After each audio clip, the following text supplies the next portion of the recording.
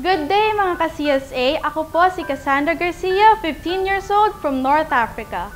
Nandito po tayo ngayon sa CSA Clinic and today I will be trying out the Senior G facial procedure which will give my skin nutrients that it needs and will also hydrate my skin to give me a natural glow and of course will also prevent scars as I am still a teenager so I need the facial that will prevent scars. I found out about CSA through my dad as we were searching for a good derma clinic. And we are very lucky to have found CSA and to get to know Dr. Contessa, which will be doing the facial procedure with me today. So if you want to find out more about the Senior G facial procedure, please keep on watching.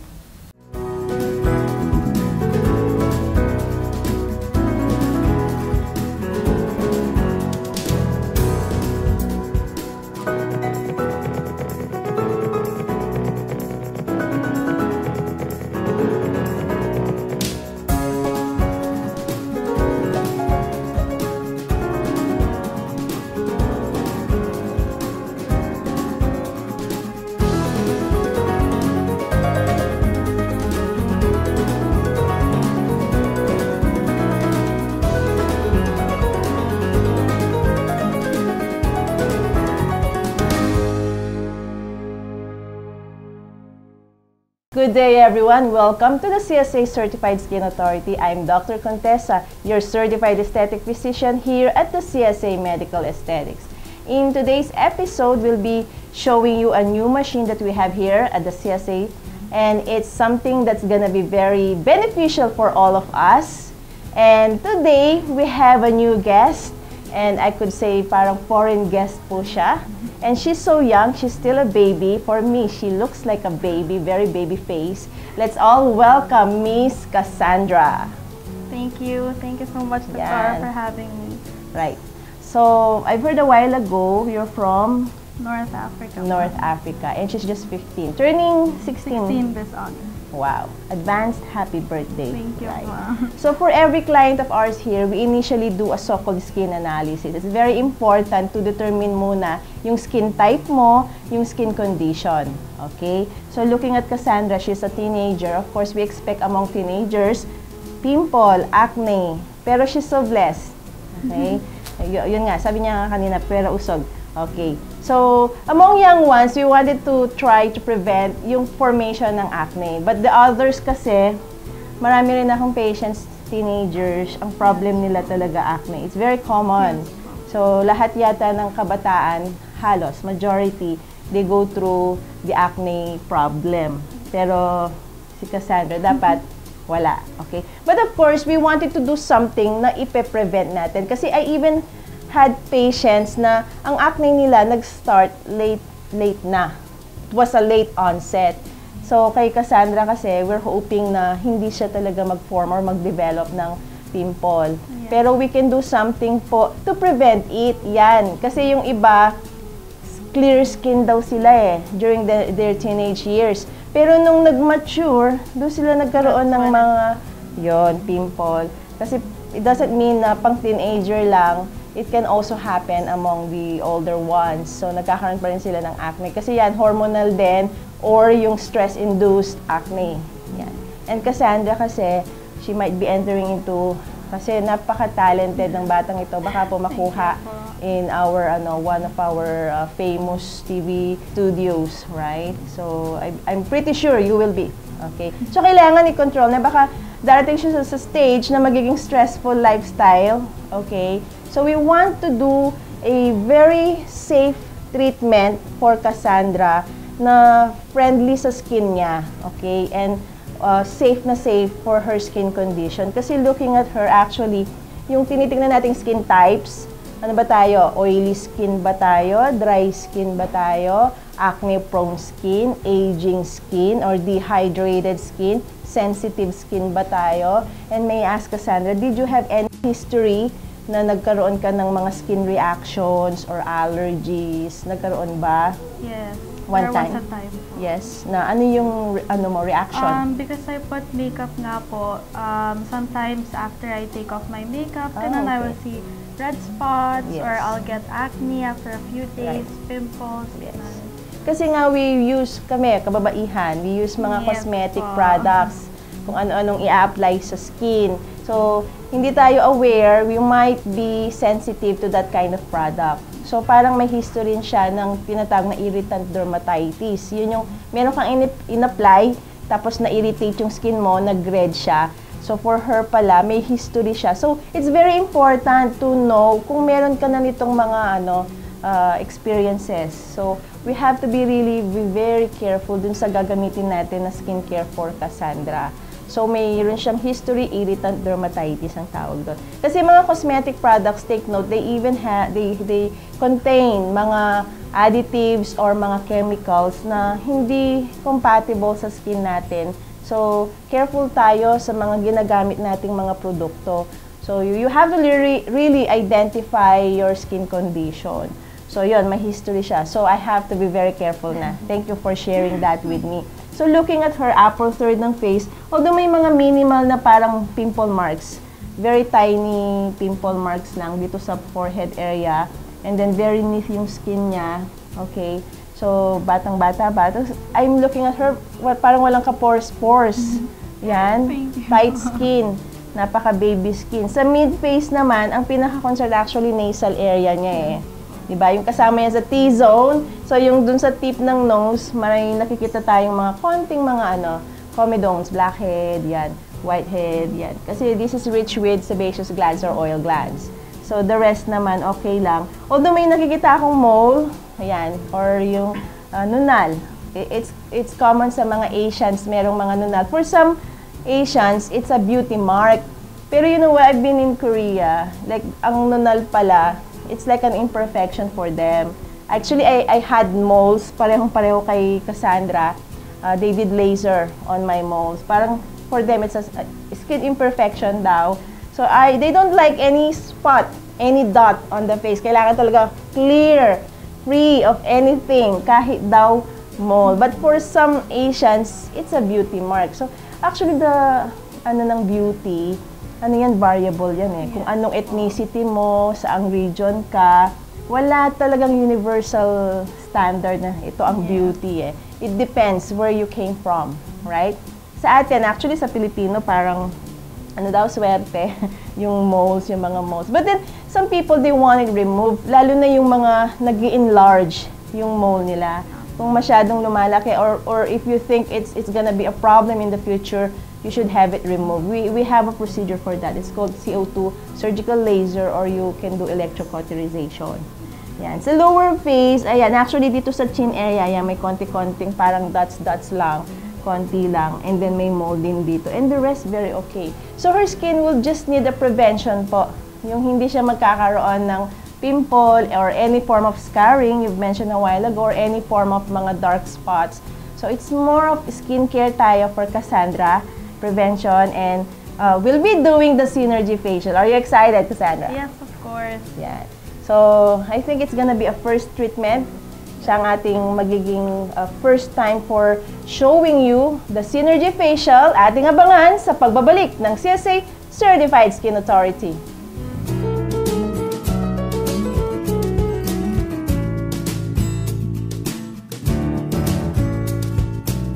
We're back mga ka-CSA. So we're still with Cassandra.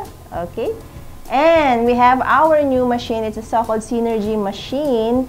Bakit nga ba Synergy ang tinawag? When you say Synergy, right, it's just like you combine all of the treatments na merong magagandang benefits for all of us. Actually, uh, the machine has the aqua spiral therapy or yung aqua facial na tinatawag. And then meron na rin siya yung we've shown you Oxygeneo before. So this one or we say Gemeo. It has oxygen peptide infusion or yung meron din siya nung mga sa tip na meron tayong white doon sa tip niya na meron din siyang pang exfoliate. And then meron din tong quapolar, right? Kasi the other one, tripolar, yan po yung radio frequency or RF for skin tightening, skin firming, And then, meron din siya nung U-Cosmo. The Cosmo is the cosmetic infusion. Infusion ng mga products that are made of mga micronutrients like vitamins and minerals. So, itong machine na to, Synergy, andyan na po lahat actually. So, we can bring this at home and make use of all the benefits that we get from this one. Okay, ang gagawin natin kay Cassandra will be more of the aquafacial. And initially, meron siya nung tinatawag naming S1 or Synergy 1. Actually, the first one has this so-called lactic solution. Ito yung mag-unclog ng pores. Kasi sometimes yun sa mga skin pores natin, may naiipon na mga dead cells, yeah. skin debris, or some of the excess oils. Okay, so ma-unplug na rin to prevent acne formation. So it's also deep cleaning na rin. Okay, so at the same time, parang medyo may, may micro exfoliation ng konti para mawala yung ating mga dead cells. And lalong kikinis pa yung skin and of course, magiging clearer skin ka. And then after nung S1, yung S2 kasi, it's for those with active pimple already. It has a medicine to shrink yung mga comedones and acne meron siyang anti-acne medicine. Particularly, it has the salicylate or yung beta-hydroxy acid. Okay? And then yung S3, that we will infuse for you. Meron din siya ng hyaluronic. Hyaluronic, as we all know, it's a natural skin substance. It's the one that traps water and moisture para yung skin natin well-hydrated and healthy looking at meron siyang natural glow. Meron din siyang component for lightening. And actually, uh, sa edad ko, pang anti-aging ko rin yan. Yun. So sa kanya, si Cassandra, syempre prevent natin yung early aging of the skin. So the S1 and S3 will be utilized for the treatment. Okay, and then in the future, she can make use of the Oxygeneo also. Okay, meron din siyang brightening, lightening, and anti-aging. And then also in the future, pwede rin siya ng mga For example, yung quapolar, yung ating radio frequency. And we will be combining Cosmo or the infusion of micronutrients. Kasi kailangan ng skin ni Cassandra yon. So, to begin with, okay, na-cleanse na po yung skin niya kanina. So, of course, before any treatments, we have to do cleansing. Alisin natin yung makeup. Okay? And then, after we cleanse the skin, okay, we do yung application ng tinatawag na skin toner to further degrease our skin. Actually, I will be giving, the so-called Sensibio water for Cassandra. We'll give it to her. It's a very good toner for skin, especially the teenagers. And actually, it's uh, the best makeup remover. Right? This is the one that I use. Okay, it's so safe. It's actually the pH is next to the pH of our skin. pH yung acidity. Yeah. Okay? So, wala siya ng mga matatapang na mga chemicals or strong alcohols na pag nag-toner, tapos ang hapdi. But this one is so good. You can also use this near the eye area. So, pangtanggal na rin ng eye makeup. So, we use this toner. So, just use your cotton pad and then apply lang yung solution na to. Actually, this is from France. Okay. So, ang ating mga produkto, well-studied din. So, we'll give this later for you. Tsaka, You will be using uh, mild soap muna after the procedure. So, so we'll be giving this Vera Mild for Miss Cassandra. Okay, for uh, baby skin. Okay, when we do toner lang, I'm so gentle in doing this eh. So, ganun lang po. Not necessarily uh, very, what do you call this? Yung sobrang aggressive ka sa skin mo. Yung kasi talagang pinakakarabe. Now, be gentle also in applying your toner. Okay?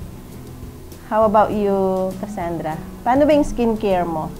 Um, normally po, I just wash my wash, face yes. with soap, yes. of course, and then I apply toner okay. and some cream, yeah. know, if I have pimples or concern yes. my face. Ayun. So, basic.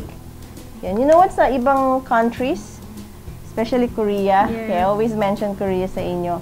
Yung iba sa kanila, they have the so-called daily 10 skincare steps. Yung iba 10 talaga eh. The others 5, the others 6, yan. Pero mga busy people, wash na lang ng face, okay na. But at least you, you basically wash the face, remove mga cosmetic products. Sa kalalakihan naman, of course, yung mga naipon na mga grease or oil sa skin, wash it away also. And then basically toner. So, actually, uh, kanina tinanggal po namin yung uh, makeup. And then, um, pwede namang iwan yung eye makeup niya. So, we're concerned yung sa upper, mid, and lower face. Okay? Anong feeling while applying this ano toner? It's very soothing po sa skin. Yeah. Mm. So, ito na ang gagamitin na toner ni Cassandra. Kahit sa mga sensitive, kaya tinawag namin siyang Sensibio. Even for those with sensitivity or irritation, this is the best. It's gonna give you a quick healing po nung mga irritation sa skin ninyo. It has that special uh, water kasi eh.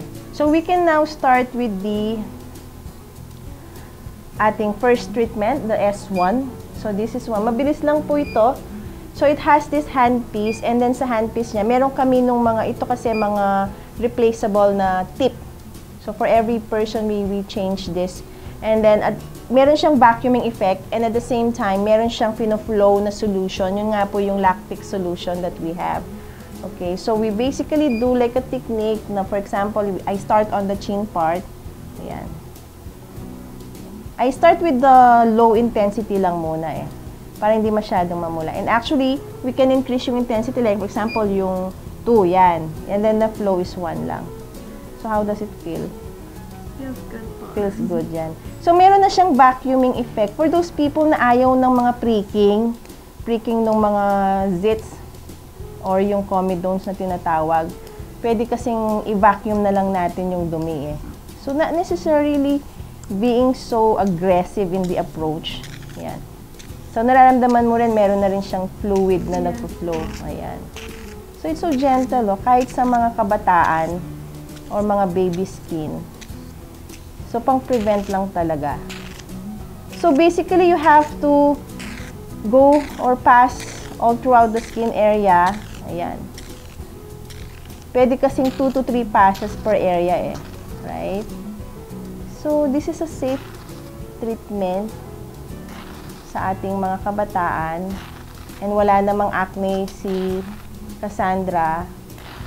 So, kung yung mga gusto ng deep cleaning and prevention ng mga nakikita sa face, at gusto talagang magstay na baby face talaga. So, this is a wonderful facial treatment. Ayan. Meron lang tayong solution. OS, please. So, yung nakita nyo pong lumabas na solution, that's the lactic. How does it feel, yung solution? Okay lang, no? Okay naman. Yeah. Wala siyang stinging. Wala. Yan. Ayan. So, I did the other half. So, my assistant will do the other half na. So, yun. May vacuuming effect siya. At the same time, meron siyang solution na ini-infuse na. It's the so-called lactic solution. So, I did yung right half ni Cassandra. And Sandra is doing the other half rin. And immediately after this, we can uh, do also yung S3. The S3 naman, it contains hyaluronic. So, super safe, right? Yes po, and less painful. Exactly. Actually, So, wala pong pain, Doktor. wala ngang pain. Very relaxing. Relaxing actually eh. Yes. Mamaya, isagad-sagad pa natin yung treatment mo after this. Yan. Medyo naka-get up lang ako ng ano, naka-surgical gown ako and surgical cap kasi prior to this, I'm also doing mga procedures here in my clinic. We have a lot of mga non-surgical nose lifting, non-surgical face lifting, and mga iba under eye treatments, or yung iba lip enhancement, or contouring ng face. So, kaya naka-get up po akong ganito. So, medyo ano lang po sa clinic namin, we have a lot of uh, people na nagpapaschedule. We would want to request po yung maraming mga nagsisend ng emails or messages sa aming FB, Instagram, etc. Uh, please be patient po. Um, marami po kasi it's always puno. And ang request ko lang po, please no consultation po sa aming mga mga emails po or FB or form any form of social media kasi consultation should really be done in a clinic.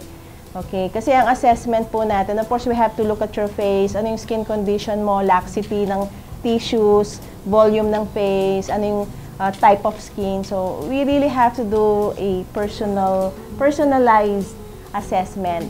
Yan. Kasi marami po kasi na they inquire and then nagko-consult na rin po. So, we, we, we would like to request po as much as possible if you can visit us and schedule an appointment, we will appreciate that.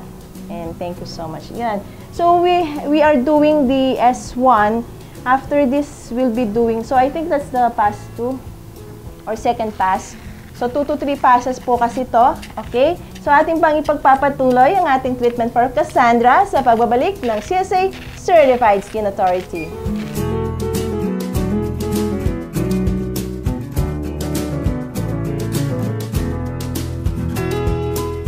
So, we're back. Ating ipinagpapatuloy ang third part, the S3, which is the infusion na ng hyaluronic serums or solutions and micronutrients. So, kanina, we did a deep cleaning with the, the S1. Yun yung ating lactic containing solution. Ngayon, Sandra is doing the third part, which is yung meron na siyang mga hyaluronic solutions. Meron din siyang pang lightening or brightening and prevention of the aging of the skin. So, it's basically mga micronutrients, supplements for our own skin. Okay? So, napaka-relax ni Cassandra. Anong nickname mo, Cassandra? Cass. Cass. Mas maganda, Cass na lang. Okay. So, while we're doing it, nanonotice lang na parang may konting reddening of the skin, which is very temporary. Of course, when we touch the skin talaga, some people with sensitivity agad nagre-red. And then, may, maya mawawala din yan. Parang wala talaga ka-pores-pores si Cass. Walang ka-pores-pores. Actually, you don't need to put on makeup. She can come out, mas maganda na nga walang makeup. Okay. Kasi some of the cosmetic products, the more you put them on the face, they irritate the skin also eh. They clog our pores. So, it's safe na lang to come out with some of your SPF na lang, yung mga sun protection. Uh, actually, I love the Aven Emulsion Sun Protection. Uh, it's really so ano, gentle sa skin po, for, especially for young ones. So the Aven Sunblock SPF Emulsion, that's a safe uh, sun protection. And then the others, they just wanna do na lang na eyebrow or eye makeup and lipstick na lang eh. Kahit wala na sa the rest of the skin. She don't need na nga mag-foundation or any concealer. Wala naman na po siyang i-conceal. She has a perfect face and I love her Thank smile. Okay? So, marami kasi sa atin, mga kababaihan, they want to achieve a skin, a clear skin. And kung pwede lang daw na hindi na nagme-makeup. And then after this, we'll proceed with the Cosmo treatment. We'll be infusing more of a vitamin C. Her skin will need that. It's a powerful antioxidant. So we have that handpiece there. So I love this machine. It's Synergy. Andiyan na lahat. Meron na siyang RF, may Gimeo or Oxygeneo. Meron na siyang Cosmo Infusion. So it's really versatile. It's very, very ano, um, helpful for all of us, beneficial sa lahat-lahat sa atin. So, young skin, matured skin, all types of skin, even for those with skin sensitivity po. Yung mga nagre-react sila kung ano-ano lang ang ina-apply. Ganyan. So, um, meron po siyang mga solution sa loob. It's more of like ini-infuse lang. May opening yung kanyang tip.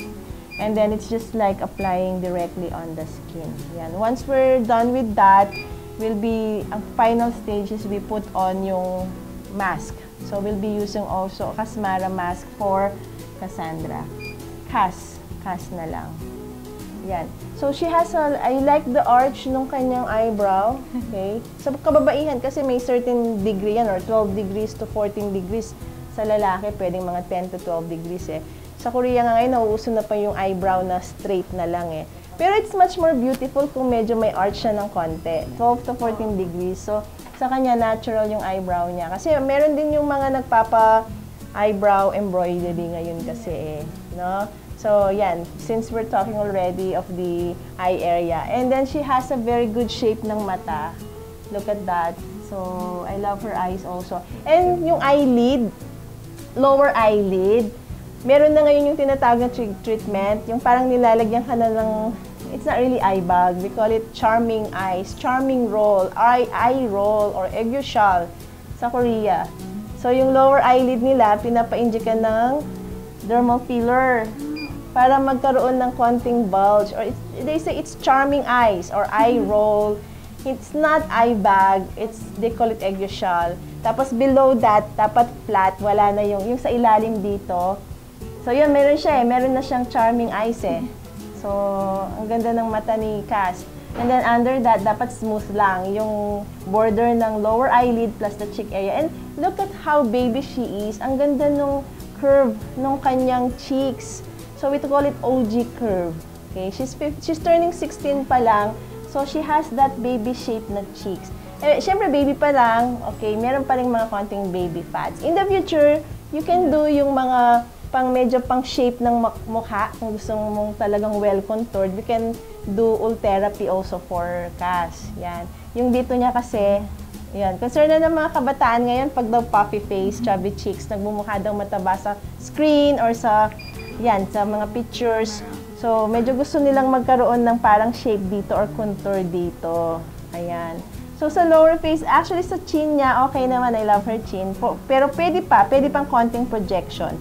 And she has a well-contoured lips. Yan, fuller lips. Kasi we are doing also mga lip enhancement. Especially yung mga medyo nag invert na yung upper lip nila, numinipis na yung upper lip. We do lip enhancement using our mga dermal fillers. Sa nasal area, ayan, actually, si Cass, pwede rin siyang mag-contour ng kanyang nose. Although Asian tayo, we love to retain our uh, ethnicity kasi we're identified sa ating nose. So, I love her nose also. It's so natural looking. And then, in the future, if she wants to enhance more, pwede rin naman. Pero she's still a baby. So, this is a gentle treatment for our teenagers, the Synergy Facial. Okay, it targets all skin condition. Kahit yung may mga sensitive skin, they can do it. All skin types, we can do this kind of procedure. And look at that, she's so relaxed. We can still continue on eh. Pati sa neck part niya, we can do the treatment. And then we'll be giving her also the Casmara mask later on. This has a lot of micronutrients, powerful antioxidant. Ngayon pa lang, you can start delaying the process of aging eh. Kasi may, I've seen others na sa age ng 19, 20, may nakita na po ako dun sa forehead, nagkakaroon na ng lines, wrinkling.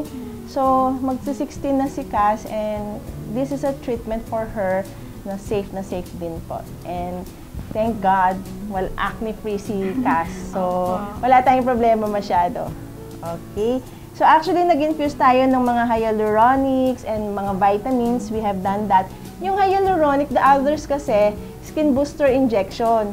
So, ito, if you don't want a needleless hyaluronic booster, we have here to boost your skin with our hyaluronics.